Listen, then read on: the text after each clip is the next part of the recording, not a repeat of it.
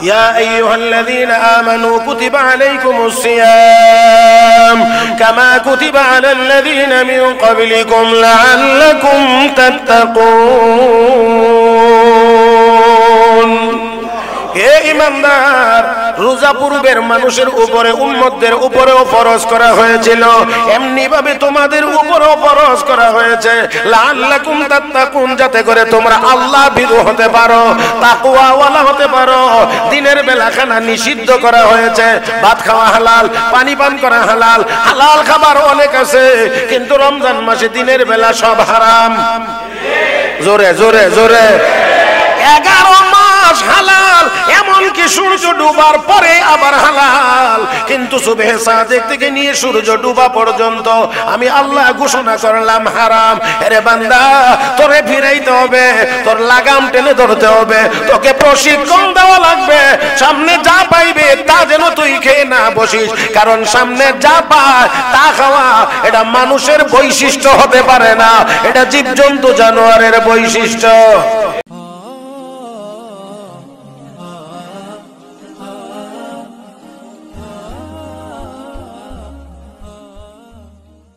محمدا عبده ورسوله الذي أرسله بالحق بشيرا ونذيرا وداعيا إلى الله بإذنه وسراجا منيرا صلى الله تعالى عليه وعلى آله وأصحابه وأصحابه وبارك وسلم تسليما كثيرا. أما بعد فأعوذ بالله من الشيطان الرجيم. بسم الله الرحمن الرحيم.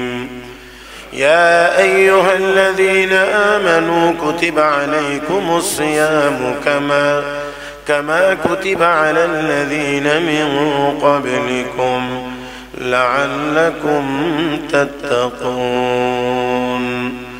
قال رسول الله صلى الله عليه وسلم في الجنة ثمانية أبواب منها باب يسمى الريان لا يدخله إلا الصائمون. صدق الله مولانا العظيم وصدق رسوله النبي الأمي الكريم. ونحن على ذلك لمن الشاهدين والشاكرين. والحمد لله رب العالمين. اللهم صل على محمد وعلى آل محمد.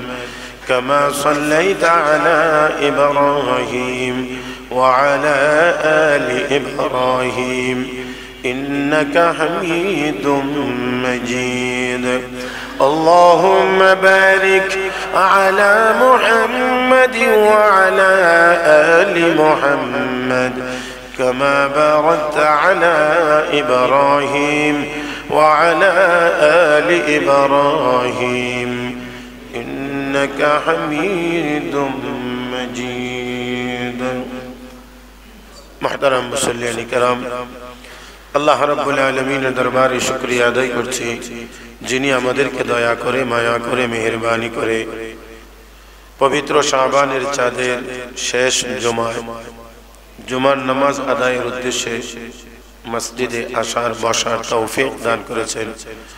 মহাব্বতের সাথে সবাই পড়ি, আলহামদুলিল্লাহ। পবিত্র মাহে রমাদানুল মুবারক আমাদের একেবারেই নিকটবর্তী। রসুল আরবি সাল্লাহ আলী ওসাল্লাম শাহবানের শেষ তারিখে সাহাবা একরামকে সমবেত করে রমজানের গুরুত্ব এবং ফজিলত সম্পর্কে বক্তব্য দিয়েছিলেন। হাদিসটি বর্ণনা করেছেন। রসুলের প্রসিদ্ধ সাহাবি, বয়স্ক সাহাবি হজরত সলমান ফারসি রদি আল্লাহ যার সারমর্ম হল রসুল সাহাবা একরামকে এই মর্মে প্রস্তুতি নেওয়ার জন্য আগের থেকেই ঘোষণা করেছেন, কাদ আযাল্লাকুম শাহরুন আযীম। শাহরুম মুবারক, একটি মহিমান্বিত মাস। বরকতপূর্ণ মাস তোমাদের একেবারেই নিকটবর্তী। রসুল বলেন, এই মাস লাইলাতুল কদর ওয়ালা মাস। যেই মাসে লাইলাতুল কদর আছে, আর যেই রাত্রিতে, এক রাত্রিতে এবাদত করলে তিরাশি বছর চার মাসের চাইতেও বেশি এবাদতের সওয়াব আল্লাহ আমল নামাই দান করেন। এই মাস আমাদের একেবারে নিকটবর্তী। রজবের চাঁদ উঠলেই তো রসুল দোয়া শুরু করতেন, আল্লাহুম্মা বারিক লানা রজব ওয়া শাবান ওয়া বাল্লিগনা রমাদান। আল্লাহ আমাদেরকে রজব এবং শাহবানে বরকত দাও, রমাদান পর্যন্ত আমাদেরকে পৌঁছিয়ে দাও। তো আমাদের একেবারেই নিকটে চলে এসেছে। এখনও আমরা সবাই নিশ্চিত করে বলতে পারব না যে আমরা রমজান অবশ্যই পাব। এমনটা বলা যায় না, তবে যেহেতু একেবারে নিকটে, তাই আমরা আশা করতে পারি যে আমরা ইনশাআল্লাহ রমজান পাবো। নিয়ত আছে তো রোজা রাখা? হ্যাঁ? আল্লাহ সবাইকে তৌফিক দান করুন। রোজা রাখলে তো শরীর নষ্ট হয়। না খাইলে তো একটু শরীর নষ্ট হবে। হ্যাঁ সামান্য একটু নষ্ট হয়। এটা বাহ্যিক ভাবে যেটা দেখা যায়, একটু ওজন কমে, শরীরটা একটু হালকা হয়। তবে এর দ্বারা ক্ষতি হয় না লাভ আরে, স্বভাবের কথা রাখেন না। বর্তমান এই রোগ আক্রান্ত সময়ে যে দেশে, যেই সময় আমরা বলা যায় অনেক মানুষ, আমি বলি না যে সবাই, তবে অনেক মানুষই আমরা বিভিন্ন রোগে আক্রান্ত। আর বিশেষ করে ঢাকা শহরে যারা থাকেন, তারা তো সবাই সুস্থ। হ্যাঁ? না, আমি তো এটা বলতে পারি না, কারণ আমিও তো বেশি না থাকলেও ঢাকায় আছে। তো দেখা যায় অনেকেরই অনেক ধরনের ঔষধ সারা বছর সেবন করতে হয়। কিন্তু আলহামদুলিল্লাহ, রোজার বরকতে অনেকের অনেক ঔষধ কম লাগে। হ্যাঁ অনেক ঔষধ কম লাগে। তাহলে বোঝা গেল রোজার দ্বারা শারীরিক উপকারও আছে। মহতারাম আল্লাহ রাব্বুল আলামিন আমার আপনার এই দেহটা চারটি উপাদানের সমন্বয়ে তৈরি করেছে। আগুন, পানি, মাটি, বাতাস। প্রত্যেকটি উপাদানে ভিন্ন ভিন্ন চাহিদা আগুনের চাহিদা একরকম পানির চাহিদা একরকম, মাটির চাহিদা আরেক রকম বাতাসের চাহিদা আরেক রকম ভিন্ন ভিন্ন। আবার দেখেন, একটা আরেকটার বিপরীত। আগুন আর পানি একসাথে হয় না। যেখানে পানি থাকে সেখানে আগুন থাকে। আগুন থাকলে পানি থাকে না, পানি থাকলে আগুন থাকে না। আবার দেখবেন বাতাস। তো বাতাসও জুড়ে যদি প্রবাহিত হয়, তাহলে সেখানেও আগুন থাকে না। তো এমন বিপরীত জিনিসগুলোকে, পানি আর মাটি, যেখানে পানি থাকে এখানে মাটি থাকে না। আর যেখানে মাটি থাকে, সেখানে পানি থাকে। দেখেন। এই বিপরীতমুখী জিনিসগুলোকে আল্লাহ রাব্বুল আলামিন কেমন করে সমন্বয় করে আমাকে আপনাকে তৈরি করেছেন। এখন একটু খেয়াল করেন যে আমাদের শরীরে আগুনের উপাদান থাকা সত্ত্বেও আমরা পানিকেও মোটামুটি পর্যায়ে সহ্য করতে পারি। কয় না? ঠিক না? আবার দেখেন যে পানির উপাদান থাকা সত্ত্বেও আমরা মোটামুটি কিছু তাপ, কিছু গরম, কিছু হিট আমরা সহ্য করতে পারি, সূর্যের তাপ সহ্য করতে পারি। তো এরকম আল্লাহ রাব্বুল আলামিন এমন ভাবে আমার, আপনার দেহটাকে তৈরি করেছেন। এজন্য আল্লাহ রাব্বুল আলামিন বলেন, ইয়া আইয়ুহাল ইনসান, মা গররাকা বিরাব্বিকাল কারীম। হে মানুষ কোন জিনিস তোকে ধোকা দিল আল্লাহ থেকে? আল্লাহ থেকে কোন জিনিস ধোকা দিয়ে তোকে দূরে সরাইয়া দিল মালিকের কাছ থেকে? খালাকাক, যে মালিক তোকে বানাইছে। যে মালিক তোমাকে স্থিতিশীল করেছে। আল্লাহ রাব্বুল আলামিন তোমার গঠন সুন্দর করেছে। সবগুলো উপাদানকে আল্লাহ সুন্দরভাবে সমন্বয় করেছে। তো দেখেন আল্লাহ রাব্বুল আলামিন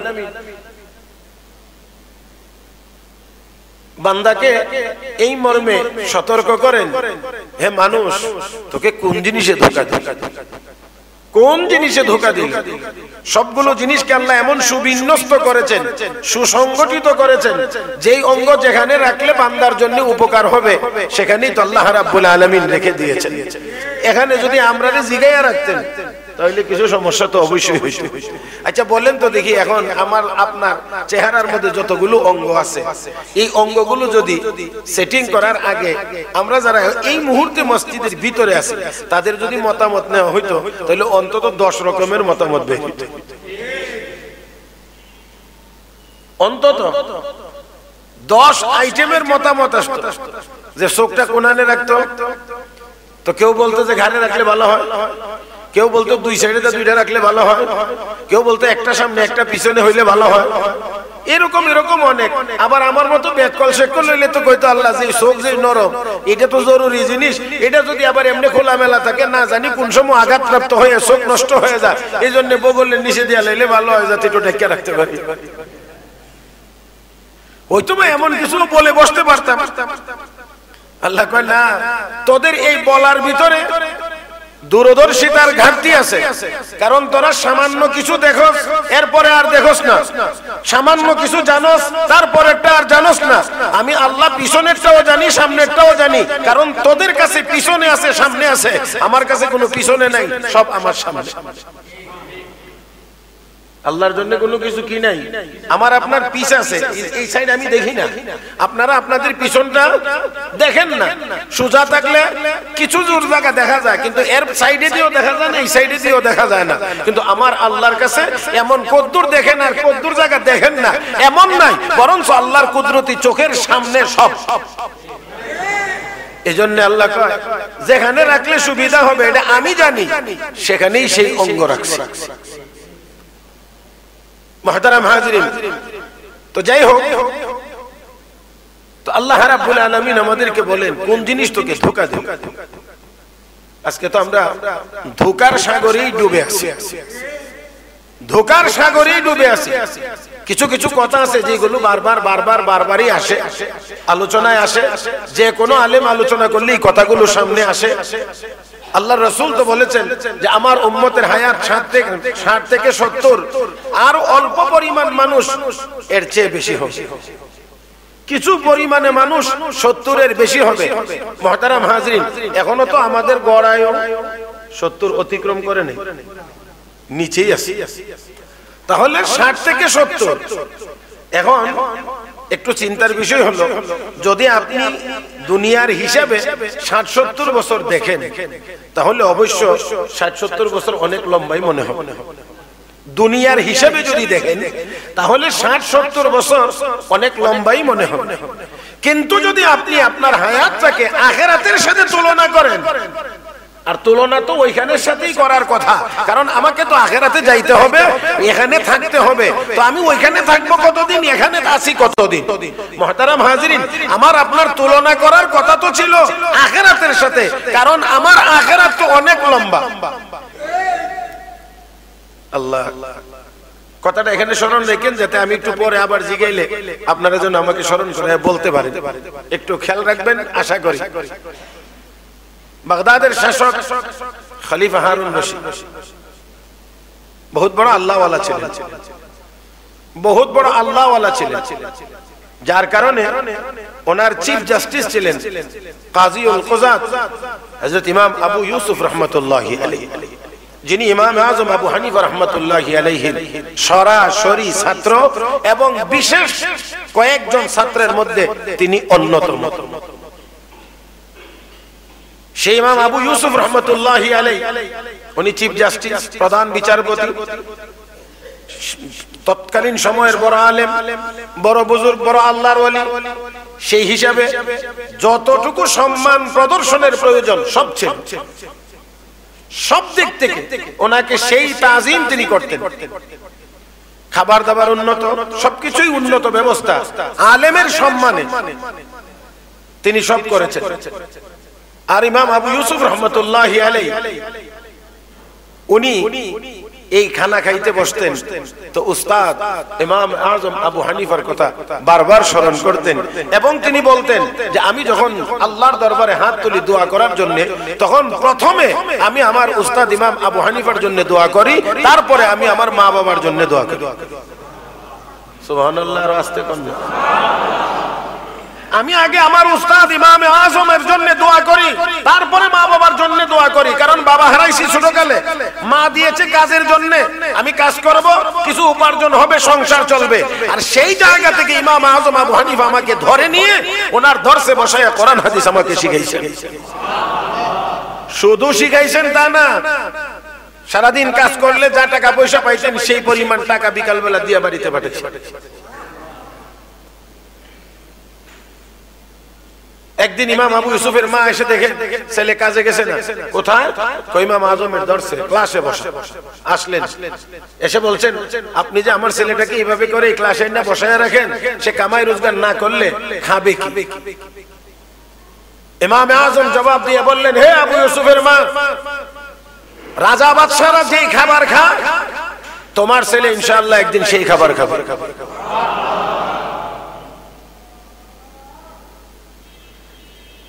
রাজা বাদশারা যেই খাবার খায় যে দামি উন্নত মানের খাবার খায় তোমার ছেলে সেই খাবার খাবে।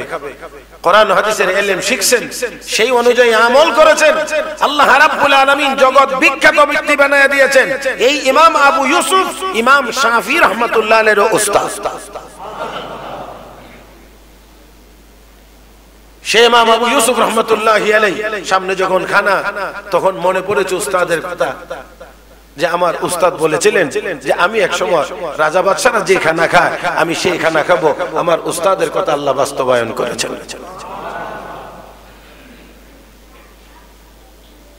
আল্লাহ আকবর। তো খলিফা হারুন রশিদ ওনার সময়ে আল্লাহর এক বান্দা ছিল যাকে কিতাবের ভাষায় মাজুজুব বলা হয়। তার নাম ছিল বাহলুল। মানে খুব আমাদের যে স্বাভাবিক অবস্থা সেই স্বাভাবিক অবস্থা তার মধ্যে ছিল না। তো খলিফা হারুন রশিদ তাকে খুব সোজা সাদা সিধা মানে এত পেস জানে না কথাবার্তার এত মারপেট জানে না এইরকম মনে করতেন এক সময়। তো একদিন একটা লাঠি মুরব্বীরা হাতে লাঠি নেয় না এই লাঠি একদিন খলিফা হারুন রশিদ দিয়ে বাহলুলের হাতে দিয়ে বলতেছে, বাহলুল, এই লাঠিটা যদি তোমার চেয়ে কোনো ব্যাককল মানুষ পাও, কোন বুকা মানুষ পাও, তাহলে তার কাছে লাঠিটা হস্তান্তর করো। উনি মনে করছেন যে যেহেতু দেখা যায় স্বাভাবিক অবস্থা না, এটা আল্লাহ রাব্বুল আলামিনের কিছু বান্দাদের এরকম হালত হয়ে থাকে। যাদের হালত আমার আপনার মতো এরকম স্বাভাবিক না।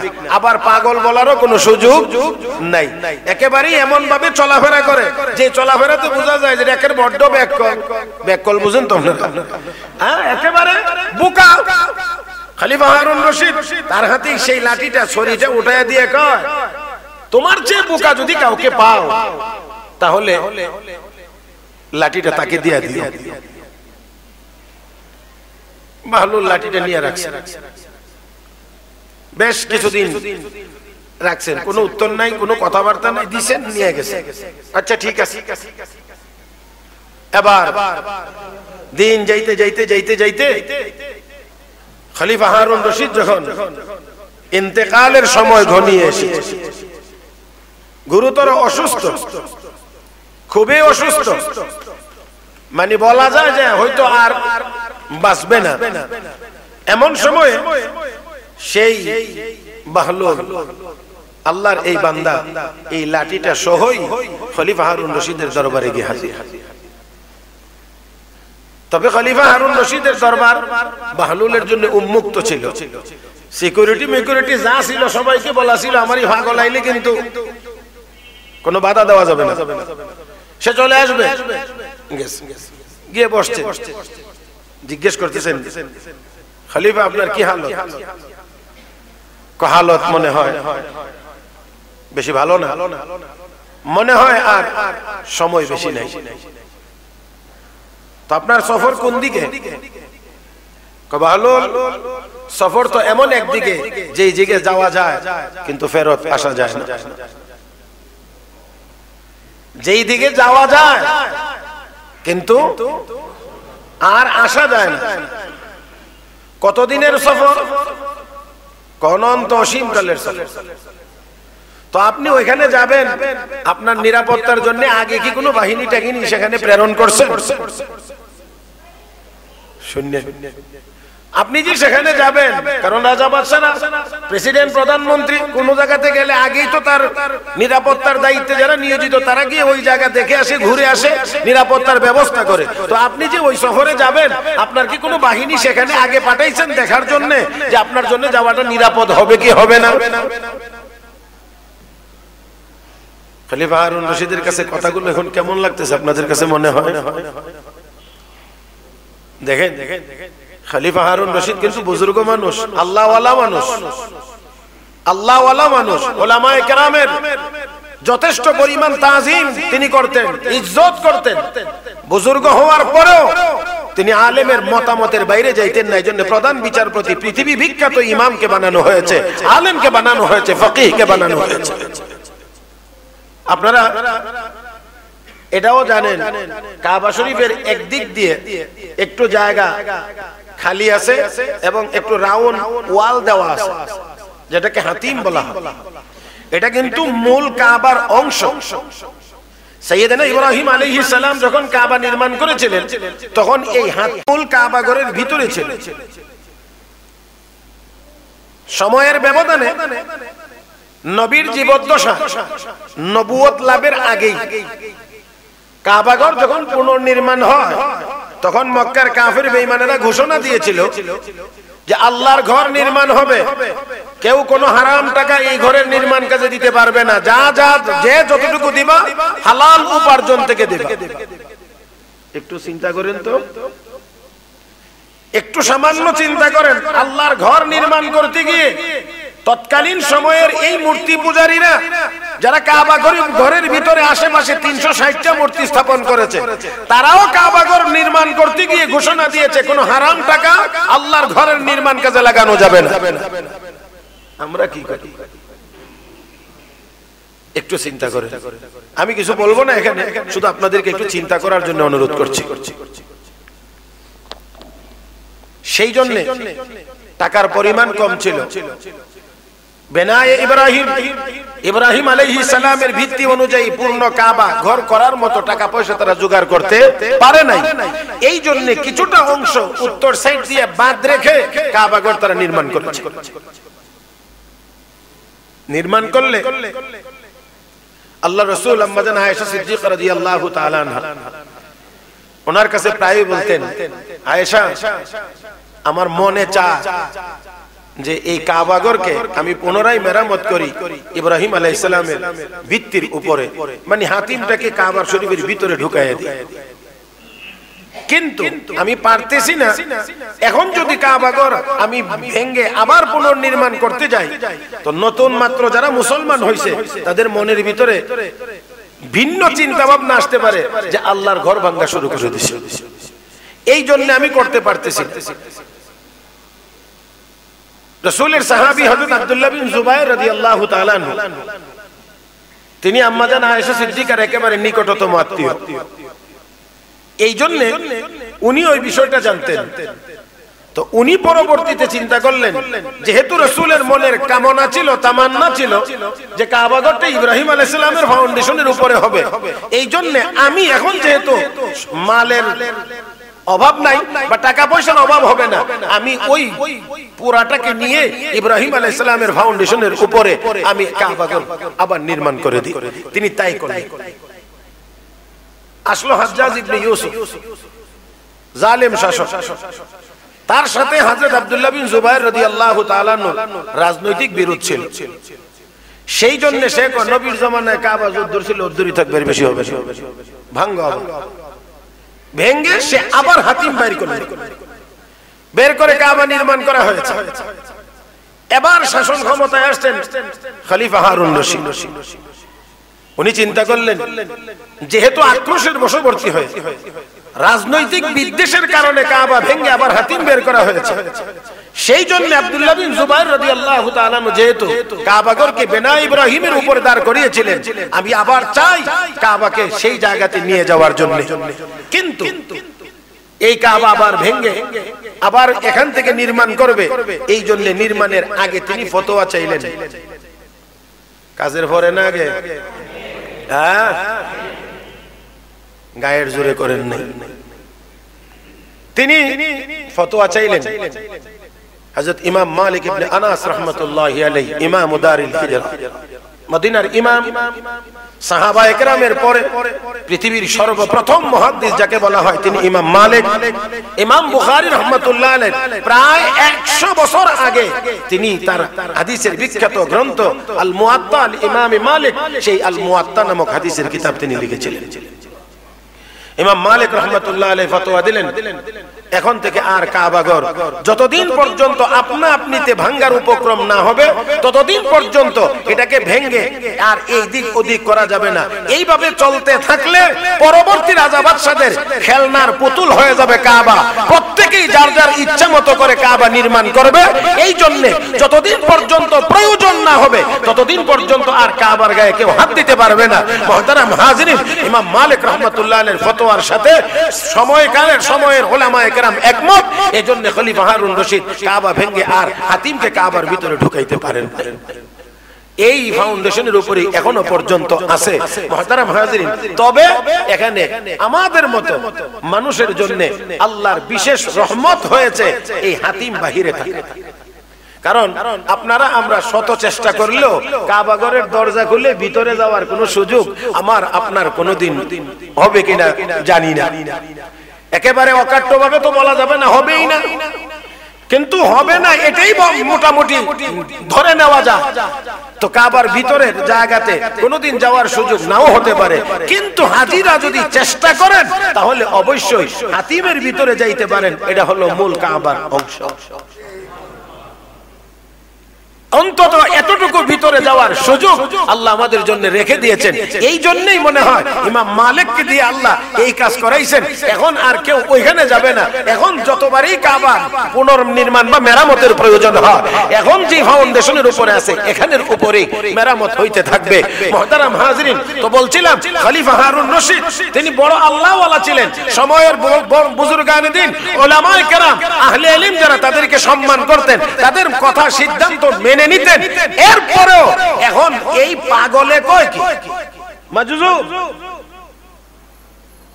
আপনি যে যাবেন, আপনার নিরাপত্তার জন্য কি ব্যবস্থা গ্রহণ করেছেন? কোন বাহিনী কি প্রেরণ করেছেন? ভালো কি বলো? এখানে কি কোনো বাহিনী পাঠানো যায়? আচ্ছা ঠিক আছে, এত লম্বা সফরের জন্য যাইবেন। তো কি পরিমাণ ডলার এন্ডোজ করছে কি ভাই, আপনি বিদেশ সফরে যাবেন তো ডলার লাগবে না? কি পরিমাণ ডলার এন্ডোস করেছেন? এখন আবার খালিফা হারুন রশিদ তাকায় এক ভালো ওইখানে কি কোনো ডলার পাঠানো যায়? এইভাবে করে একটা একটা একটা একটা করে করে এমন ভাবে বলা শুরু করেছে। সর্বশেষ গিয়ে বলতে আছে আপনার তাহলে বোঝা যায় এই সফরের জন্য আগে থেকে তেমন বেশি কোনো প্রস্তুতি আপনার নেওয়া নাই। খলিফা হারুন রশিদ কয় না আসলেই তো আমি তেমন ভালো কোনো প্রস্তুতি তো নিতে পারি নাই।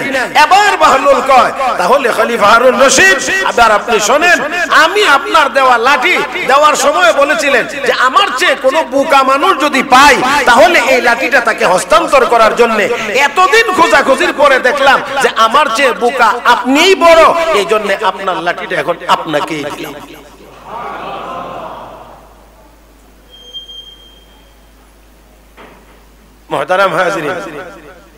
এই জন্য আমি একটা বিনয়ের সাথে একটি কথা বলি। আমরা যে যত বড় শিক্ষিত হই না কেন, যে যত বড়, যেই লাইনে যত বড়ই হই না কেন আমরা অনেক কিছু জানি অনেক কিছু বুঝি কিন্তু সব জানি না সব বুঝি নাকি কথাটা আমি বুঝাইতে পারি না অনেক জানি কিন্তু সব জানি না। সব কে জানেন?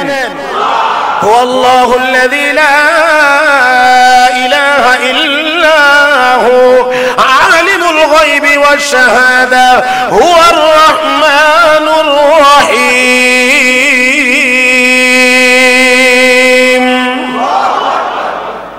আল্লাহ যিনি সব জানেন তিনি সব জানেন যিনি সব জানেন মহান আল্লাহ রাব্বুল আলামিন বলেন ইয়া আইয়ুহাল ইনসানু মা গাররাকা বিরাব্বিকাল কারীম الذي خلقك فسواك فعدلك في أي صورة ما شاء ركبك হে মানুষ তোকে কোন জিনিসে ধোকা দিল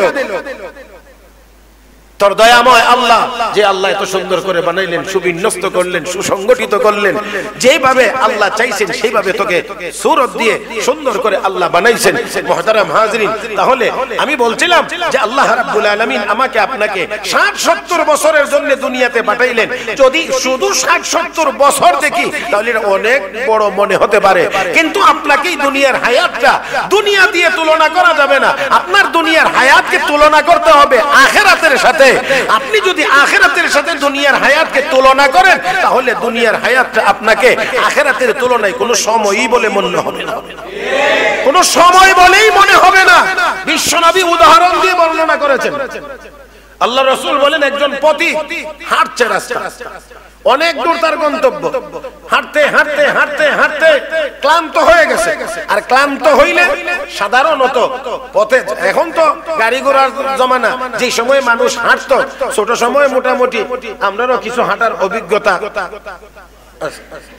এখন আল্লাহর মেহরবানিতে প্রয়োজন হলে হাঁটতে পারি। গত দুই তিন বছর আগে একবার এক মাহফিলে গেছি। কিছু কাঁচা রাস্তা ছিল। যাওয়ার পরে মাসাল্লাহ এমন বৃষ্টি হইছে, দুই দফা বৃষ্টি। কাঁচা রাস্তার উপরে আল্লাহর রহমতে কোন জায়গাতে আধা হাত পানি, কোন জায়গা দিয়ে আরও বেশি। এখন এই কাঁচা রাস্তা দিয়া গাড়িতে উঠে আসলে গাড়ি, অটো, এমনে যায়। স্টিয়ারিং ধরে রাখল আমি কইলাম, ড্রাইভারে, তুমি একলা হইতা আমি নামি। তো নামছি প্রথমে ভদ্রতার সাথে জুতাটি লইয়া। জুতা তখন ভাই রাস্তার অবস্থা দেখে মনে হইতেছে, এই ভদ্রতা যদি রাখতে যাই, তো আমার গন্তব্যে যাওয়া সম্ভব হবে না। আমি কিছু তুমি তোমার গাড়ি লিয়ে ফাঁকা রাস্তা তোটো আর আমি হাঁটতেছি। কতক্ষণ পরে দিই না, জুতা নিয়ে হাঁটারও ব্যবস্থা নেই। পরে জুতা খুললে লয়ে লেছি হাতে। মোটামুটি সাড়ে সাত কিলোমিটার হাঁটছি।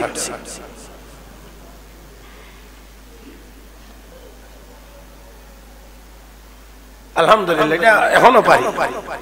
হাঁটা শুরু করলে মোটামুটি আমার সাথে যারা আছে অন্যদের কথা কই না, জোয়ানেরা তো কই বলে আপনি তো আমরা সাথে পারতেন না। এটাও ঠিক আছে। আমার সাথে যারা আল্লাহ রহমতে অনেকেই আমার সাথে হেঁটে কোলাইতে পারবে। আলহামদুলিল্লাহ। কারণ কোনোটাই বাদ দিছি না আর কি, ছোট সময় হাঁটা, এটাও হয়।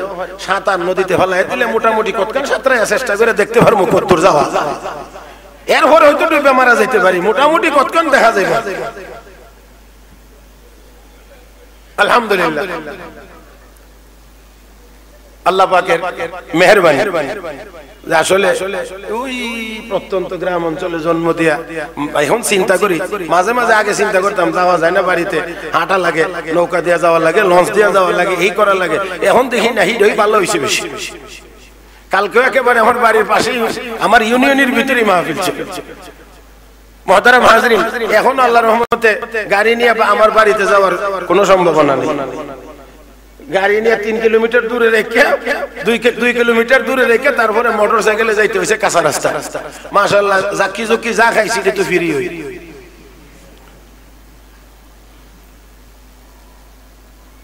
যাক, আলহামদুলিল্লাহ। আল্লাহ পাকের দয়া, আল্লাহ পাকের মেহরবানি। তাহলে আমাকে, আপনাকে তুলনা করতে হবে দুনিয়ার হায়াতকে, দুনিয়ার কোনো কিছু দিয়ে, না আখেরাতের হায়াতের সাথে। তো আখেরাতের হায়াতের সাথে রসুল তুলনা করে বলেন প্রতীক হাঁটছে, যাচ্ছে, ক্লান্ত। খুঁজতেছে একটা গাছ। এরকম আমরা অনেক সময় হাঁটতে গিয়া, হাওরের মাঝখানে কোনো একটা গাছ পাইলে, এই গাছের নিচে গিয়া, আহ কি একটু মজা লাগে। অনেকক্ষণ হাঁটার পরে আল্লাহ রসুল বলেন, প্রতি ক্লান্ত, প্রতি হাঁটতে হাঁটতে, ক্লান্ত হয়ে এই গাছের নিচে এসে বসেছে। কিছুক্ষণ পরেই আবার প্রতীক তার গন্তব্যের দিকে হাঁটা শুরু করেছে। বিশ্ব নবী বলেন, চলার পথে ওই গাছের নিচে প্রতীক যতটা সময় আরামের জন্য বসেছিল, আমার উম্মত দুনিয়ার হায়াত আখেরাতের তুলনায় ততটুকু। এখন বলেন তো, এটা কত লম্বা? এখন বলেন দুনিয়ার হায়াতটা কত লম্বা? আমি যদি আপনাকে একেবারে সেই আখেরাতের তুলনা বাদ দিয়ে দুনিয়াতে নিয়ে আসি ধরেন আপনার বছর আপনার হায়াত সত্তর বছর। সত্তর বছরের ভিতরে পনেরো বছর পর্যন্ত তো আপনি নাবালক। কিতাবের ভাষা। আর আমাদের আইনে তো আরও বেশি আঠারো বছর। তো দেখেন পনেরো বছর যদি আপনি সত্তর থেকে বাদ দেন থাকে কত? পঞ্চান্ন পঞ্চান্ন বছর। তো সত্তর বছরের মধ্যে শেষ যে দশ পনেরো বছর, এটা তো মোটামুটি খুব শক্তিশালী সময়। আর যারা বয়স ষাট পার হয়েছে, তারাই বলেন না। হাজি সাহেবের তো ষাট পার হয়েছে। এই টাইমটা কি আগের টাইমের মতো, না একটু খারাপ? হ্যাঁ? একটু খারাপ। তাহলে এখানে দশ বছর ধরেন। তাহলে এখানে যদি দশও দেন, আর আগে থাকে পনেরো, তাহলে আপনার হায়াতের ভিতর থেকে গেল কত? তো সত্তর থেকে পঁচিশ গেলে থাকে আর কত? মাত্র পঁয়তাল্লিশ। তাহলে আপনি পঁয়তাল্লিশ বছর। ওই তো একটু আরাম, আনন্দ বুক বিলাসের যাবতীয় যা আছে, এটা আপনার পঁয়তাল্লিশ বছরের ভিতরে। আর ষাট বছরের উপরে উঠে গেলে মনে চাইলেও তো খাইতে পারে না। চোখের সামনে খানা থাকে। দিতে চাইলেও সরি সরি সরি কেন? কি অন্যায় করলেন আপনি? সরি সরি সরি তাহলে বোঝা গেল আপনার সাইডের উপরে চলে গেলে আপনার খাবার হাতের নাগালের ভিতরে থাকলেও আপনি খাইতে পারেন না। ঘুমাইবার সব উপকরণ থাকার পরেও আপনার চোখে ঘুম আসে না। তাহলে মাঝখানের পঁয়তাল্লিশ বছরই হলো আপনার দুনিয়া উপভোগ করার সময়। তাহলে এই পঁয়তাল্লিশ বছর সময় মাত্র। এটা একেবারে খুব বড় লম্বা সময় না, মহতারাম হাজিরি? তাহলে এবার চিন্তা করে দেখেন, এই পঁয়তাল্লিশ বছর দুনিয়াতে বেঁচে থাকব, এটাও আমাদের নিশ্চিত না। ধরে নিলাম পঁয়তাল্লিশ বছর।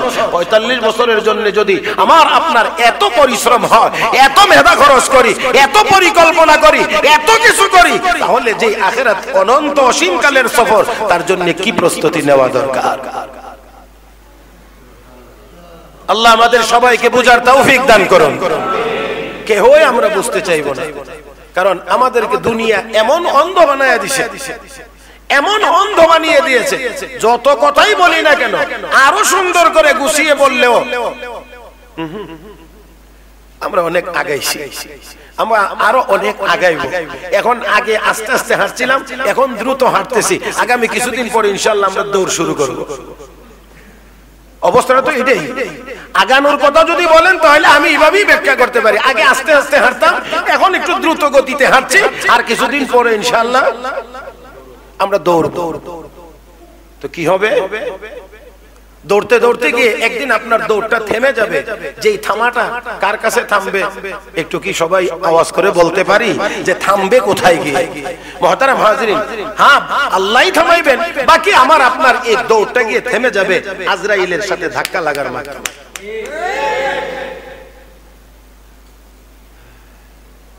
তাহলে আসেন।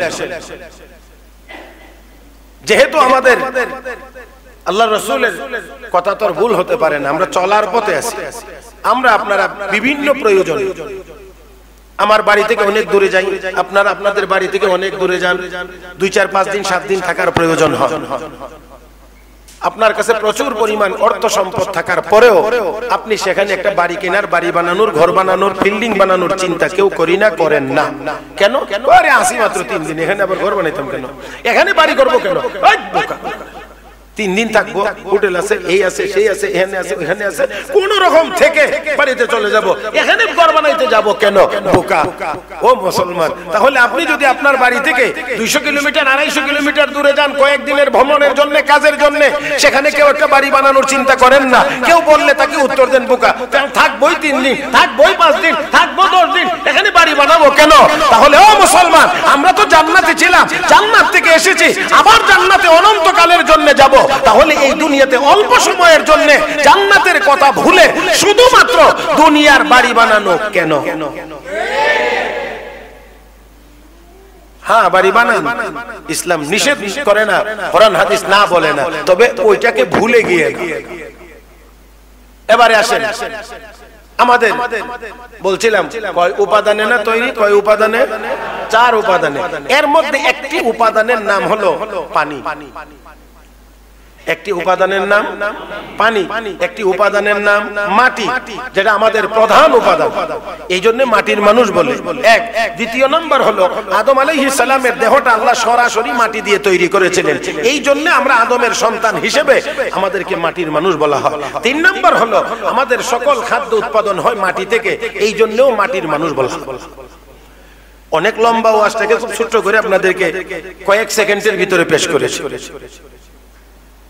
তাহলে এই যে মাটি, মাটির বদ অভ্যাস যা পায় যা পায় তাই খায় না হইলেও খাওয়ার চেষ্টা করে।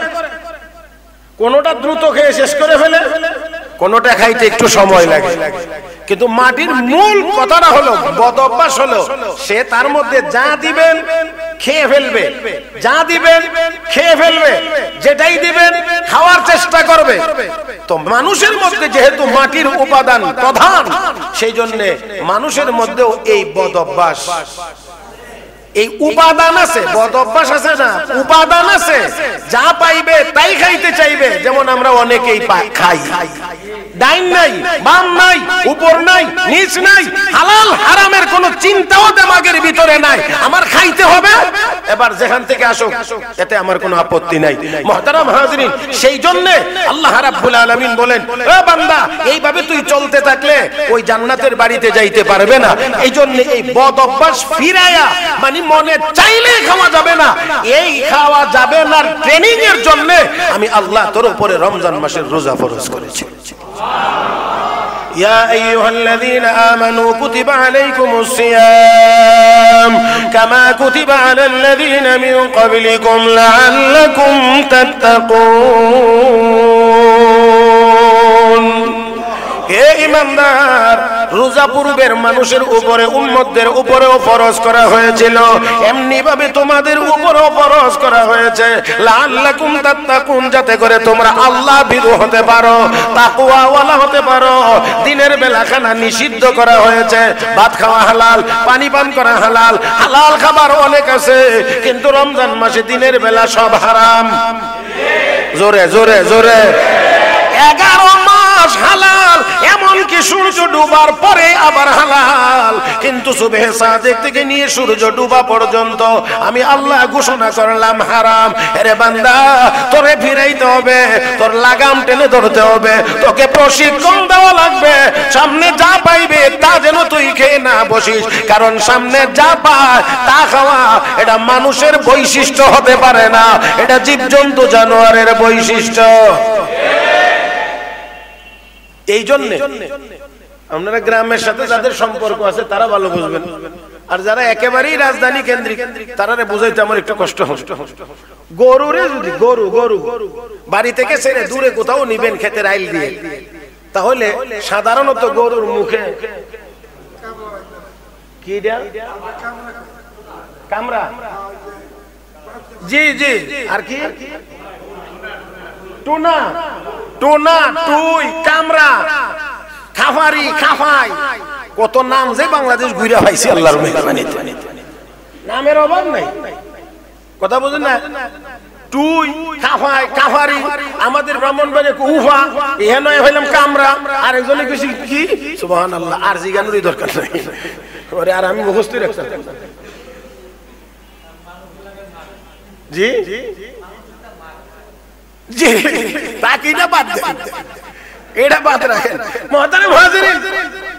গরুকে সারলে কোথাও নিয়ে যাবেন, তাহলে তাকে কি করতে হয়? মুখটা বন্ধ করে দিতে কথা বললে কাজ হবে না। যত সুন্দর করেই বলেন, হবে না। যত ধমক দিয়ে বলেন, হবে না। কারণ তারে সামনে সামনে যেটা পড়বে। আমরা লাডিতে বাইরে এলে কামড় আল্লাহ, গরু জীবনে কেমনি? এখন কে আর হিদিন আছে? আলহামদুলিল্লাহ। গরু রাখালি করার অভ্যাস আমার আছে। গরু রশিদ ধরে হাতে লাঠি নিয়ে ঘাস খাওয়ানি, এই অভ্যাস, এই অভিজ্ঞতা আলহামদুলিল্লাহ আমার আছে। ক্ষেত রোয়া থেকে শুরু করে ক্ষেত বাসা ক্ষেত কাটা ড্রামের মধ্যে ধান বাইরানি এখন তো সব মেশিন, অটো। কারণ এখন তো যান্ত্রিক দুনিয়া, এখন আর হাতের কাম চলে না। সবই আলহামদুলিল্লাহ করছি কিছু, কম বেশি। তো দেখেন, এই গরুর মুখটা বেঁধে দিতে হয়, কারণ তাকে যতই আপনি বলবেন, বলার দ্বারা সে ফিরবে না। এই জন্য একটা কাজ, বন্ধ করে দাও। তাহলে যা পায় তাই খায়। এটা জীব জন্তু জানোয়ারের স্বভাব, তাকে বলে ফিরানো যায় না। তাকে আপনি স্লোগান দিয়ে ফিরাইতে পারবেন না, লাঠি দিয়ে পিটাইও ফিরাইতে পারবেন না। অবশ্যই আপনাকে তার মুখটাই বন্ধ করে দিতে হবে। কিন্তু আমরা মানুষ, আল্লাহ রাব্বুল আলামিন আমাকে আপনাকে সব প্রাণীর চাইতে বেশি মেধা দিয়েছেন। এই কারণে আল্লাহ কবান্দা তুইও তো এইরকমই করবে, যা ভাইবে তা খাইয়া লইবে। এই জন্য রমজান মাসের 30 দিনের 29 দিনের একটা ট্রেনিং এর ব্যবস্থা করলাম। তুই সবে সাদেক থেকে নিয়ে সন্ধ্যা পর্যন্ত কিছু খাইতে পারবে না।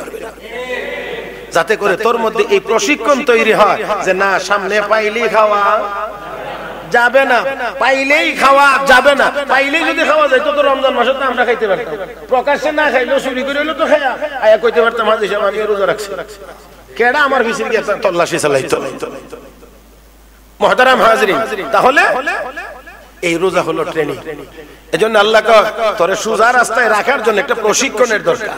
এই প্রশিক্ষণের জন্য আমি আল্লাহ তোর উপরে রমজান মাসের রোজা ফরজ করেছি। পালন করব তো ইনশাআল্লাহ। হ্যাঁ? আয় হায়। দেখছি না কি করতে দেখবার আগে গেছে গরির কাটা আমারে অতিক্রম করে আই এম সরি। সরি এছাড়া আর কিছু বলার নাই। তবে আরে একটা, এক থেকে দুই মিনিট সময় আমাকে দিতে হবে। মহতারাম হাজরিন। তাহলে এই রমজান মাস আমাদের জন্য অকল্যাণ না কল্যাণ? মনে প্রাণে বিশ্বাস আছে নাকি শুধু ঠুট দিয়ে বলছি? রমজান মাসের রোজা আমাদের জন্য মুসলমানের জন্য মানব জাতির জন্য অকল্যাণ না কল্যাণ? তাহলে কল্যাণ মনে করি আগে। যদি মনে মনে ঢুকাইতে পারি যে পবিত্র রমজান মাস আমার কল্যাণের জন্য তাহলে আশা করা যায় এখান থেকে আমরা কিছু নিতে পারি কারণ আগে আমাদেরকে ঠিক করতে হবে এটা আমার জন্য লাভ না ক্ষতি। যদি লাভ বুঝি তাহলে অন্তত বেশি না পারলে যতটুকু পারি ততটুকু হলো নেওয়ার ইচ্ছা জাগবে। মহতারাম হাজরিন আগে আমি আপনাদের বেইনে শুধু এই কথাটা দিতে চাইলাম। যে পবিত্র মাহে রমাদান এটা আমাদের জন্য অকল্যাণ না কল্যাণ? আগে এটা স্থির করেন। আপনি বুঝে শুনে দেখেন যদি এটা কল্যাণ হয় তাহলে আসুন এই রমাদানে যা আছে আমরা তা নেওয়ার চেষ্টা করি। চেষ্টা করব ইনশাআল্লাহ। চেষ্টা করব ইনশাল্লাহ রমজানের পবিত্রতা আমরা রক্ষা করার চেষ্টা করব। এর ভিতরে এই নিয়তে গুনার বদ অভ্যাস তো সবার মধ্যে আমাদের মধ্যে আছে। আসুন এই রমজানকে উপলক্ষ করে চেষ্টা করি যে রমজান যেহেতু গুনাহ থেকে বিরত থাকার ট্রেনিং আমি এই ট্রেনিং চলাকালীন সময়ে কোনো গুনার কাজ সারাদিন যদি না খেয়ে থাকতে পারি, এটা যদি পারি, তাহলে অন্য আরেকটাও মনে হয় পারা যাইতে। চেষ্টা করলে পারা যাইতে। কারণ সারাদিন না খাওয়ার যেই কষ্ট, পানাহার বিরত থেকে বিরত থাকা, কোনো কিছুই খাওয়ার কোনো সুযোগ নেই। ছোটো করেও নেই। তাহলে এটা যদি পারা যায়, তাহলে অন্য আরও দুই একটা এটার সাথে অ্যাড করি না, যে আমি রোজাও রাখব আগে গুনার কাজগুলো করতাম। এই রমজান থেকে ইনশাল্লাহ আর করব আল্লাহ আমাদের সবাইকে তৌফিক দান করুন। মোহব্বতের সাথে বলি আমিন। ইনশাআল্লাহ আগামী জুমা তো খাওয়া দাওয়ার ঝামেলা আছে। আগামী শুক্রবারে? আচ্ছা যদি আগামী রমজান, আগামী শুক্রবার জমা যদি খাওয়া দাওয়ার কোনো ঝামেলা না থাকে, তাহলে একটু সময় বেশি নিয়ত করে মসজিদে আইসেন। গত জমায় তো আসতেই পারি নাই। আজকেও যদ্দূর বলার ইচ্ছা ছিল, ততটুকু পর্যন্ত যাইতে পারি নাই। ইনশাল্লাহ আগামী জমা খাওয়া দাওয়ার যেহেতু ঝামেলা থাকবে না সেই জন্য একটু বেশি সময় দেওয়ার নিয়ত করে আসব। সময়টা তো দিব মসজিদে। রমজান মাস, সময়টা দেব মসজিদে। কোনো খারাপ কিছু হবে না তো আশা করা যায়। হ্যাঁ? ইনশাআল্লাহ, একটু বেশি কথা বলার চেষ্টা করব। আল্লাহ যেন তৌফিক দান করেন। যা বলছি, যা শুনছি, আল্লাহ যেন আমাদেরকে আমলের তৌফিক দান করেন। আমিন ইয়া রাব্বাল আলামিন। ওয়া আখিরু দাওয়ানা আনিল হামদুলিল্লাহি রাব্বিল আলামিন।